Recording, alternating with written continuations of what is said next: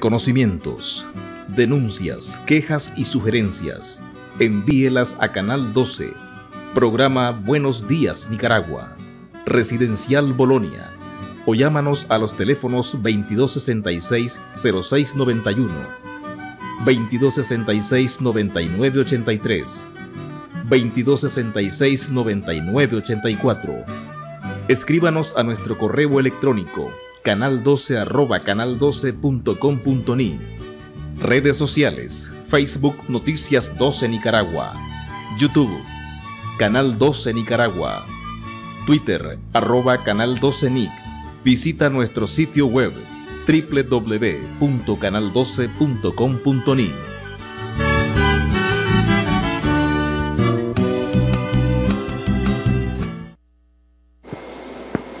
Continuamos con más del programa la mañana de este día viernes en Buenos Días Nicaragua, luego de esa pausa comercial. Y ahora tenemos el placer de tener por acá en el set a nuestros amigos de eh, Abacashi. Bueno, vamos a conocer de esto, ya que se avecina una excelente exposición gráfica morfo de la periferia al entorno, que lleva por nombre, pues luego vamos a platicar con Noel Omar Savera, él es instructor de Abacashi, también nos acompaña una de las alumnas de Abacashi, como es Andrea Palacios, con la cual nos van a comentar acerca de esta exposición que ya se avecina próximamente en nuestro país y usted puede ser partícipe de esto.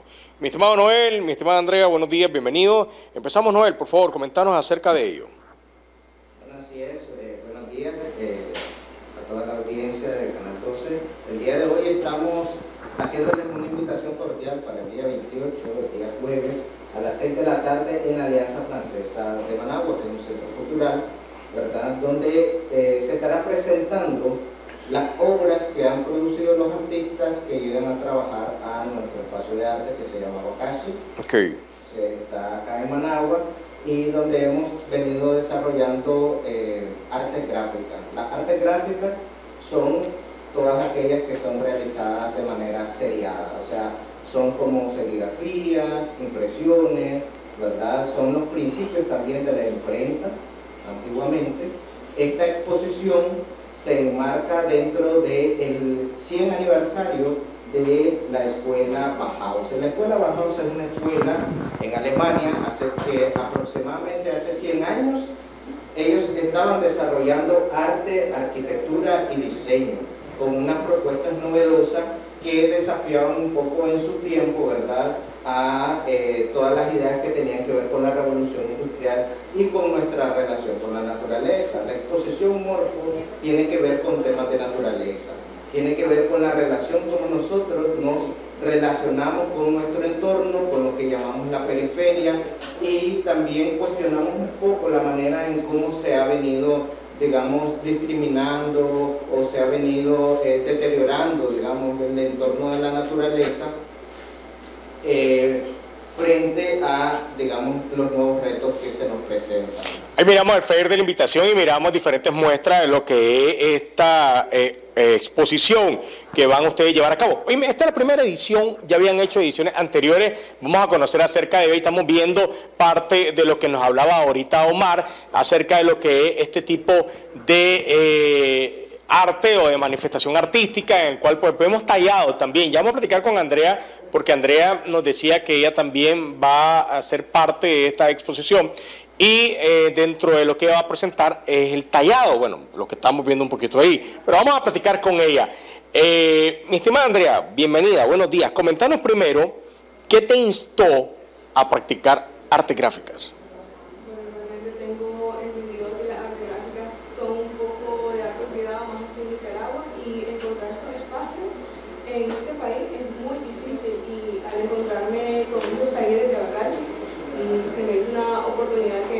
Simplemente no podía perder. ¿Ya practicabas otro tipo de manifestación artística? Así es, como las básicas, porque okay. dibujo, y realmente las artes gráficas son muy interesantes, ya que como mencionaba usted, el tallado realmente se hace con un material que es una herramienta que se llama gubia y lo que mi obra, eh, lo que se hace en mi obra son mililogramos.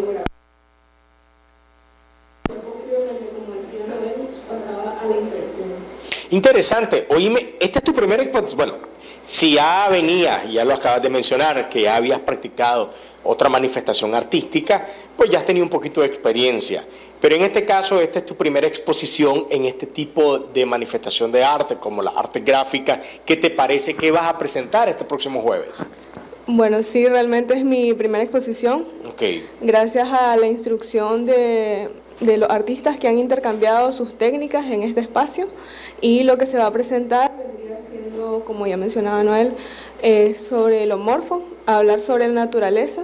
Mis obras se centraron únicamente, dando una- un pequeño spoiler, en los hongos. Ok. Entonces, eh, esa cuestión del mundo fungi, sus características y de lo que realmente nadie busca como ver de esa belleza, porque realmente nos centramos únicamente en lo estereotípicamente bello, en las flores, en las mascotas, en ese tipo de cosas, y me gustaría centrarme y visibilizar lo que no vemos tanto en la naturaleza. Y me imagino que el tallado también le da una mayor profundidad a lo que vas a presentar. Esto remarca en que no solo me imagino que es la obra en sí, sino también el material y también que, bueno, no sé si se puede tocar, pero en el caso tú que lo estás elaborando, imagino que también aparte de no solo destacar, vos lo decías, una belleza diferente de lo que podemos ver dentro de la naturaleza, lo que más es común para que el público en general, sino el destacar la belleza de diferentes formas, porque todo es bello en la naturaleza.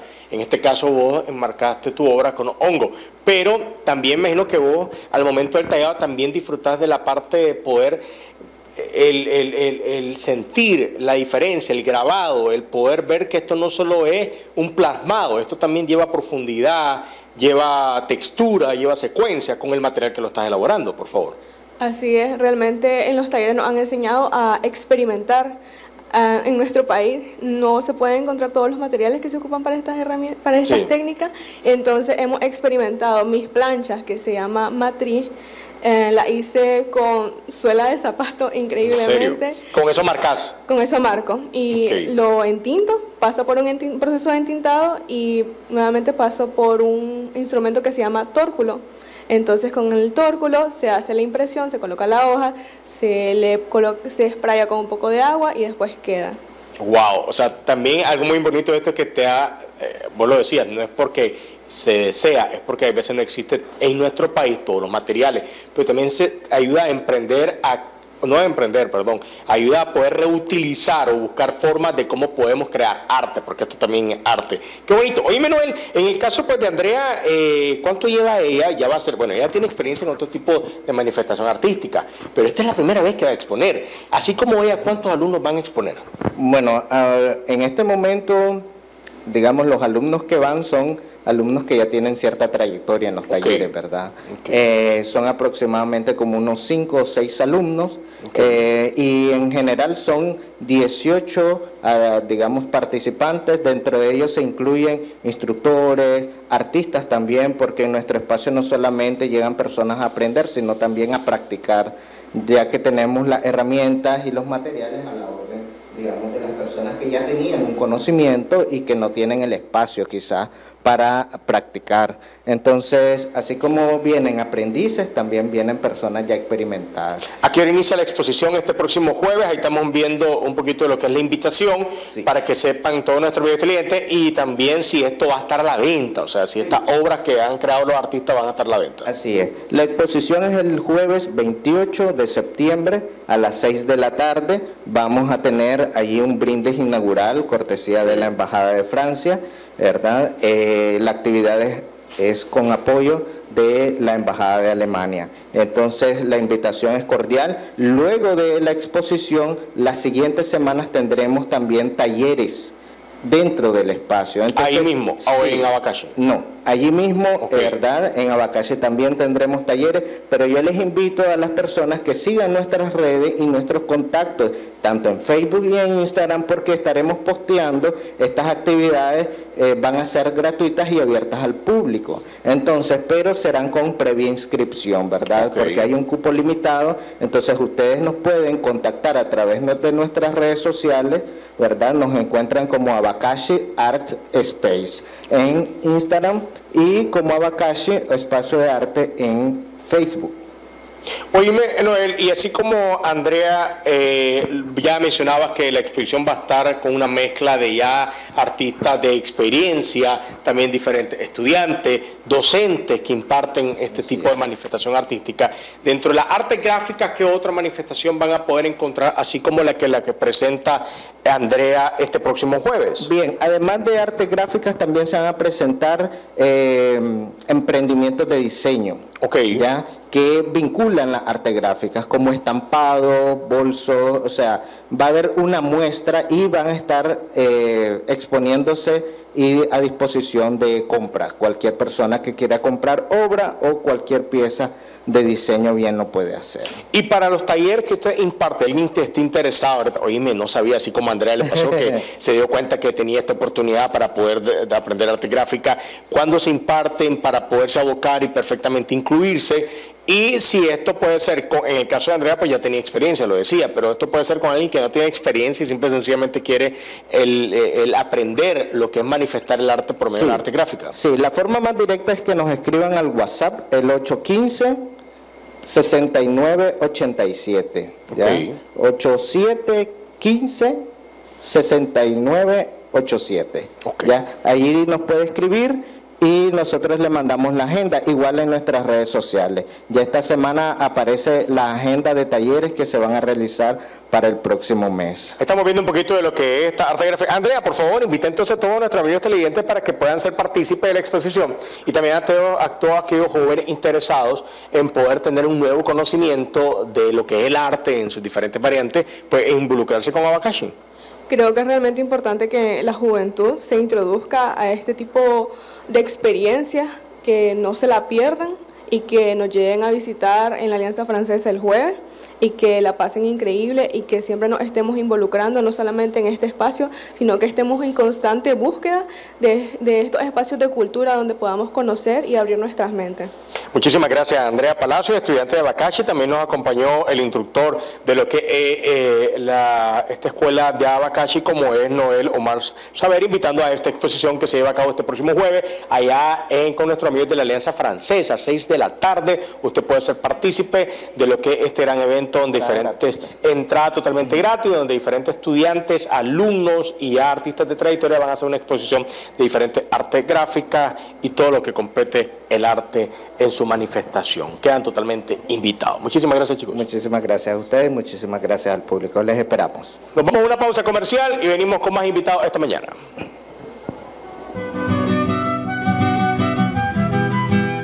Reconocimientos denuncias, quejas y sugerencias, envíelas a Canal 12, programa Buenos Días Nicaragua, Residencial Bolonia, o llámanos a los teléfonos 2266-0691, 2266-9983, 2266-9984.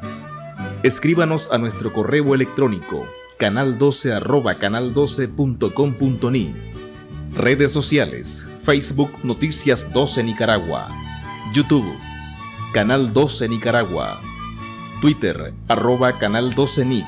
Visita nuestro sitio web www.canal12.com.ni.